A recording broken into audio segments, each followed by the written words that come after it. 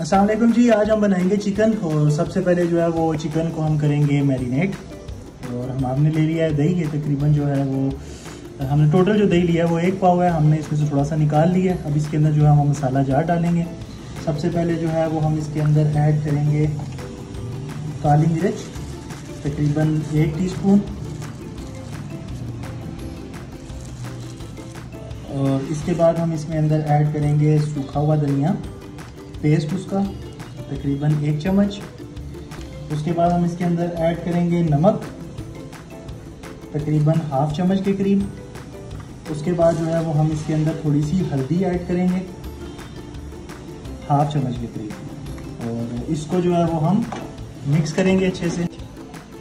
अब हम इसके अंदर जो है वो चिकन ऐड करेंगे। चिकन जो है वो हमारे पास तकरीबन एक किलो से थोड़ा सा कम है, तीन पाव के करीब है। और इसको जो है वो हम इसके अंदर अच्छे से मिक्स करेंगे। हमने चिकन को मैरिनेट करके रख दिया, तकरीबन 30 मिनट के लिए रख दिया था। अब यह है कि हम अपनी कुकिंग स्टार्ट करेंगे। सबसे पहले जो है वो हमने इसके अंदर ऑयल डाला है तकरीबन एक कप के करीब। तकरीबन दो जो गुटियाँ होती हैं प्याज की छोटी, वो हमने इसके अंदर डाली थी। अब हम इसके अंदर जो है वो अदरक, लहसन का पेस्ट ऐड करेंगे। हमने अदरक, लहसन के पेस्ट के अंदर जो है वो सब्ज़ मिर्च भी ऐड की थी। और अब हम इसको जो है वो थोड़ी देर अच्छे से मिक्स करेंगे। हमने इन दोनों को तकरीबन एक से डेढ़ मिनट पकाया और अब इसके अंदर जो है वो टमाटर और सब्ज़ मिर्च जो थी हमारे पास दो तीन, वो हमने इसके अंदर ऐड किया और अब हम इसको मज़ीद पकाएँगे। इसके अंदर जो टमाटर और प्याज है, वो अच्छे से मिक्स हो रहा है। अब हम इसके अंदर ऐड करेंगे सूरख मिर्च। ये तकरीबन हाफ़ चम्मच के करीब हम ऐड करेंगे। और इसके बाद जो है वो हमारे पास जीरा हम इसके अंदर जीरा ऐड करेंगे। और बाकी जो है वो हम आपको साथ साथ इसका बताते जाएँगे और इसको अच्छे से जो है वो हमारे जो टमाटर हैं वो भी इसके अंदर पक रहे हैं। अब हमने जो चिकन मैरिनेट किया था वो इसके अंदर ऐड कर देंगे। जो चिकन हमने मैरिनेट किया था वो इसके अंदर अब ऐड कर दिया। और अब इसको अच्छे से हम मिक्स करेंगे। और इसको इसके अंदर पकने देंगे।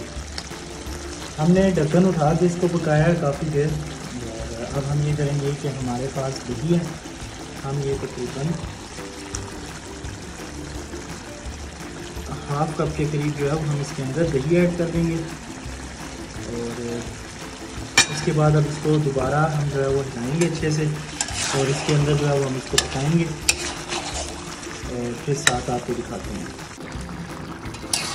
कवर हमने इसका उठा लिया था जी ढक्कन और अब हम इसको इसी तरह पकाएँगे और जब तक इसका पानी जो है वो सूख नहीं जाता, हम इसको इसी तरह पकाएँगे। हमने इसको जी अच्छे से जो है वो भूना है। हमने इतना इतना जो है वो इसके अंदर ग्रेवी रखी है। अब हम इसके अंदर जो है वो दो, एक अदर नींबू का रस हम इसके अंदर ऐड कर देंगे। और इसके बाद जो है वो हम अपनी कढ़ाई को प्लेट के अंदर डालते हैं और फिर आपको दिखाते हैं। चेक कीजिए, हमारा ग्रेवी वाला, कमाल का और मज़ेदार जो चिकन है वो रेडी हो चुका है। आप भी इस रेसिपी को घर में ज़रूर ट्राई कीजिएगा। हमें अपनी कीमती आरा से ज़रूर आगाह कीजिएगा। गोश्त खा खा के आप तंग हो गए होंगे तो इसको ज़रूर ट्राई कीजिएगा। और हमें अपनी दुआओं में याद रखिएगा। हमारे चैनल को सब्सक्राइब कीजिएगा। फिर मिलते हैं इंशाल्लाह नई रेसिपी के साथ। अल्लाह हाफिज़।